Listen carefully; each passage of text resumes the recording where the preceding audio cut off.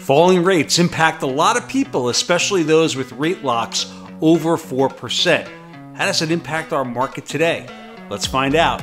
Monday Rapid Recap starts now, so let's go.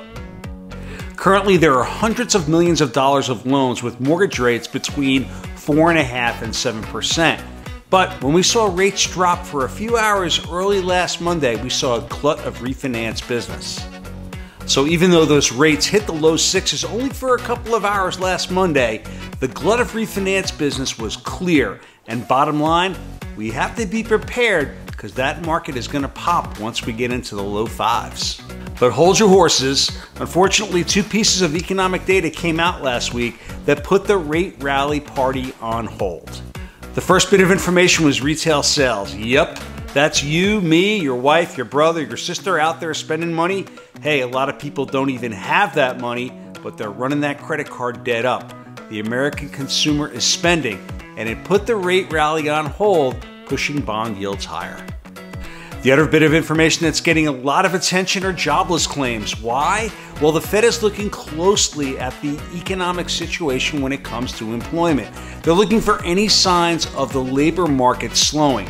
And each week we get this jobless claims number. It's important to look at prior to the big number that comes out the first Friday of every month. And now I'm serious, I want you to write this down. Between now and the September Fed meeting, we have five more rounds of jobless claims data, which comes out on Thursdays. We get the BLS jobs report, ADP also, all giving us indications of what's happening in the labor market. And then finally, the dreaded CPI number, which could push the market higher or lower in a heartbeat. Write it down.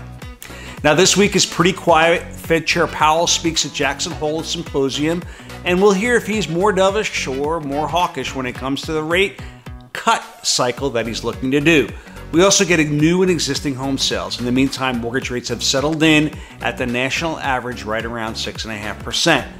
All right, have a good week, everyone. It's going to be quiet, so we'll keep our eye on the market if it fluctuates one way or the other.